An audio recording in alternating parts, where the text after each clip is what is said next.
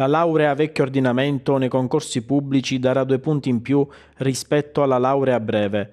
La decisione, per certi versi storica, è stata pronunciata dai giudici del Tar Lazio che hanno accolto il ricorso di una candidata siciliana al concorso all'ufficio per il processo presso il Ministero di Giustizia. La donna, assistita dagli avvocati Girolamo Rubino e Giuseppe Empiduglia, ha mantenuto il posto nonostante una concorrente di Caltanissetta avesse proposto un ricorso per ottenere la rettifica della gradatoria e quindi un punteggio maggiore.